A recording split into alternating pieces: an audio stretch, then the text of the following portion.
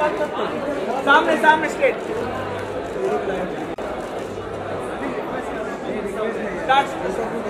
नवाज़ भाई।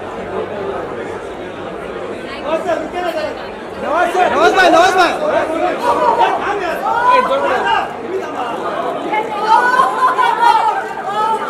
मोबाइल पे चेक करें।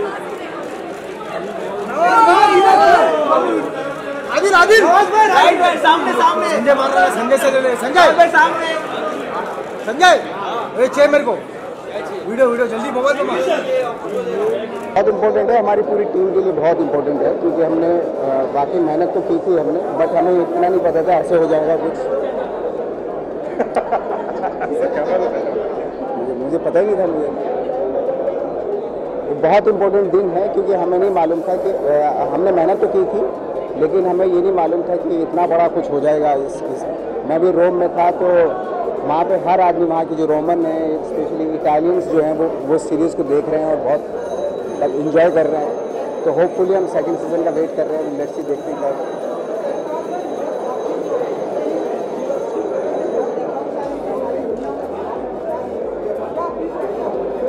मैं तो बहुत अच्छा फील करता हूँ लेकिन उसके पीछे इनकी मेहनत है। ये है वो। He is the real hero of behind the cigarette game वो जब आएगा तब आएगा। हाँ, जब आएगा तब आएगा।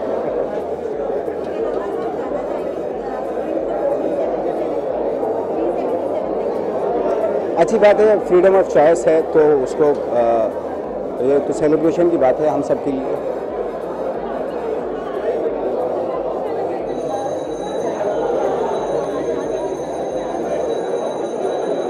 मन तो बहुत इम्पोर्टेंट फ़िल्म है हम लोगों के लिए और लाइक जैसे आज के दौर की फ़िल्म है, बहुत रिलेवेंसी रखती है मंटो बहुत रिलेवेंट फ़िल्म है। यूथ को बहुत यूथ को बहुत कनेक्ट करेगी, ऐसा मैं मुझे लगता है। लेट्स सी देखते हैं।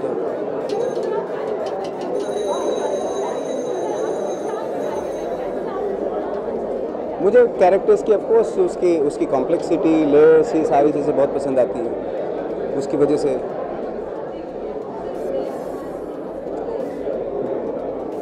मैं, हम लोग तो दुआ कर दुआ कर रहे हैं कि वो बहुत जल्द ठीक हो जाएँ और वापस से घर जाएँ और बहुत ही, उनकी हेल्थ के लिए हम सबको प्रेयर करनी चाहिए।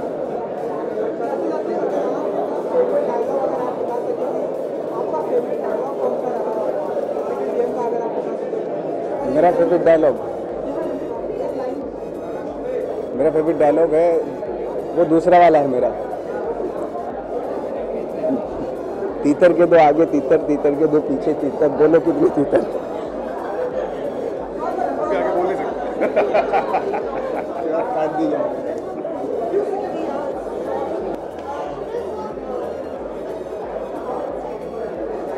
About tonight, very excited.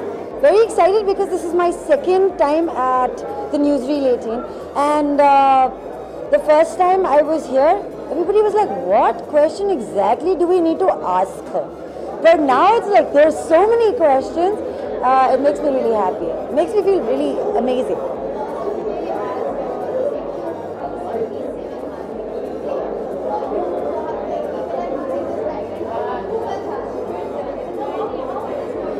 I think it's exhilarating. When I did the character, I didn't think it's going to be a part of a movement. I definitely didn't think it's going to be historic. And today it is, and it feels like that. And it's just so, it's so humbling. And honestly speaking, uh, I was following the uh, the verdict from 11 a.m.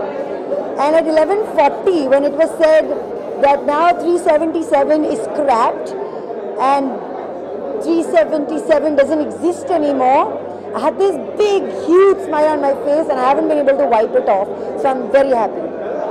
Thank you.